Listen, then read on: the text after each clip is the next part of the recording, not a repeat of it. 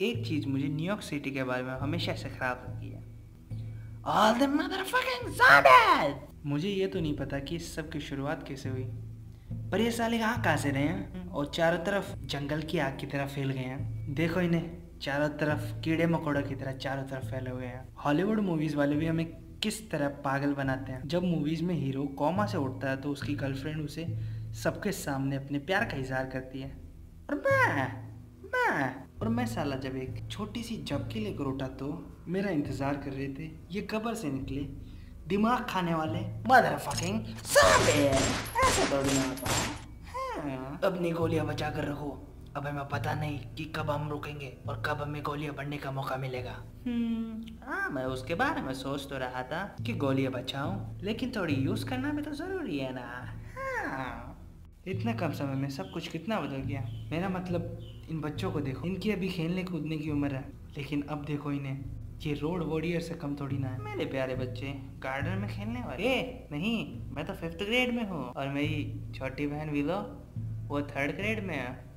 और हम जोम्बी से नहीं डरते हैं। वो जो ओल्ड लेडी ड्राइव कर रही है वो ग्रैंडमा है ना? लेकिन वो हमारी रियल ग्रैंडमा थोड़ी ना है। हाँ वो हमारी रियल ग्रैंडमा नहीं है। हम उसे ग्रैंडमा इसीलिए बुलाते हैं क्योंकि वो ओल्ड है और वो हमारी ग्रैंडमा की तरह केयर करती है। उसका नाम रेड क्लिफ है। इन बच्चों और उस ओल्ड लेडी ने मुझे जोम्बीज के बीच से निकाला था। लेकिन मेरे बाकी साथी उनमें से कोई नहीं बचा। ये बहुत बुरा हुआ। वैसे ये चपड़गंजू कौन है? सोल्जर बॉय बैंडेज बंधा हुआ।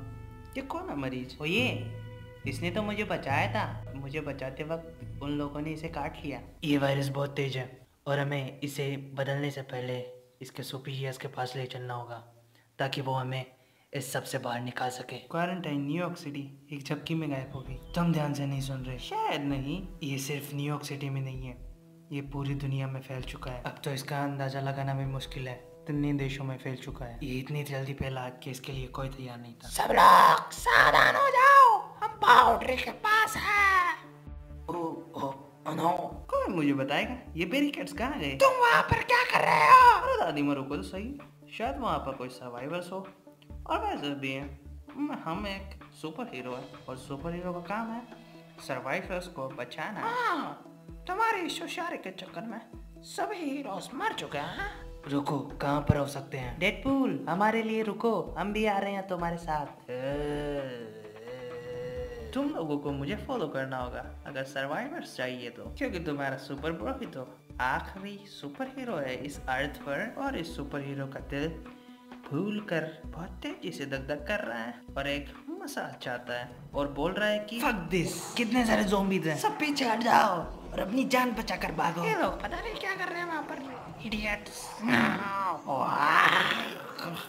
मुझे माफ़ कर दो। मैं ये नहीं करना चाहता। मैं रोक नहीं पा रहा हूँ।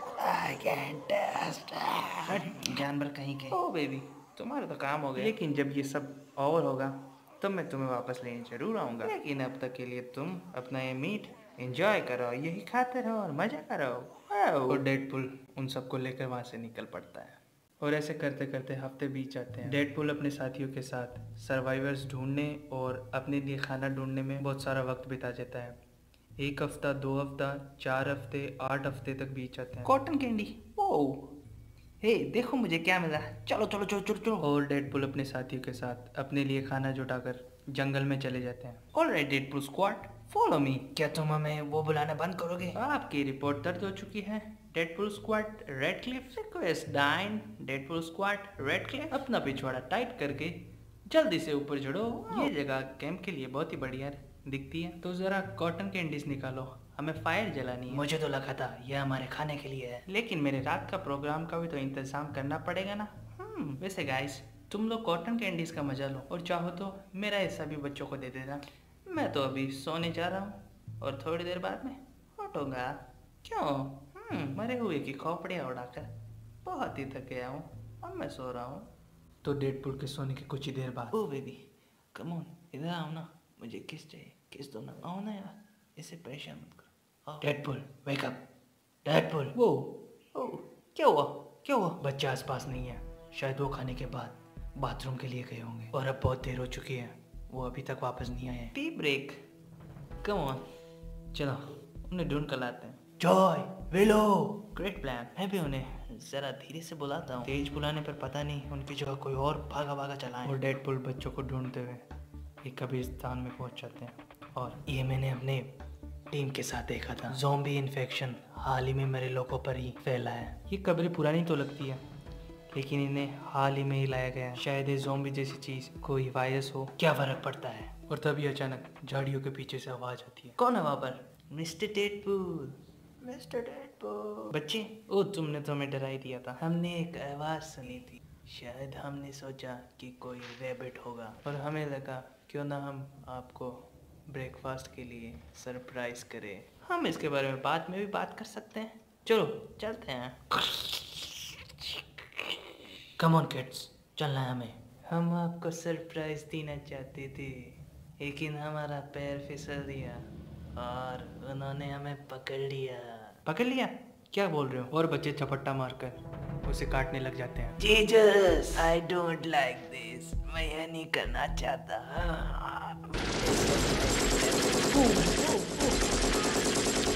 बच्चे आई एम सॉरी तुम खाते वक्त अपना मुँह बंद कर रखोगे? अब तुम वो बच्चे नहीं रहे जिन्हें मैं जानता था। वो बच्चे मैं ना जानते थे लेकिन तुम मुझे नहीं पता कि तुम सुन भी रहे हो या नहीं। लेकिन उन बच्चों ने मुझे एक आज दी थी लेकिन वो भी छिन गई। थोड़ी देर के लिए वो भी मुझे फैमिली की तरह लगने लग गए और उसके बाद डेडपुल सर्द भरी अंधेरी रात में अकेले ही निकट पड़ता है और थोड़ी देर बाद और डेडपुल एक ऊँची जगह से अपनी दूरबीन की मदद से देखता है कि नदी के उस पार एक गाँव है, जो अभी भी इस सबसे बचा हुआ है। वहाँ पर सब कुछ नॉर्मल है। बच्चे खेल रहे हैं, लोग अपना काम कर रहे हैं। और तभी डेडपुल के पीछे से, बहुत सुंदर है ना? सॉरी हम तुम्हें डराना नहीं चाहते थे, लेकिन हम लेडीज़ ऐसे ही किसी गाँव की तलाश कर रहे हैं और हमने सोचा कि हमारा थोड़ा इंट्रोडक्शन ही करा दे। क्या आप वहाँ पर रहती हो? वो स्वर्ग।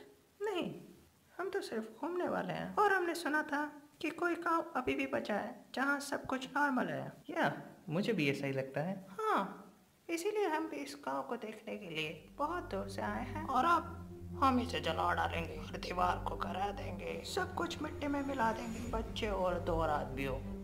सबको मार डालेंगे Nate jobs why does it always have to jobs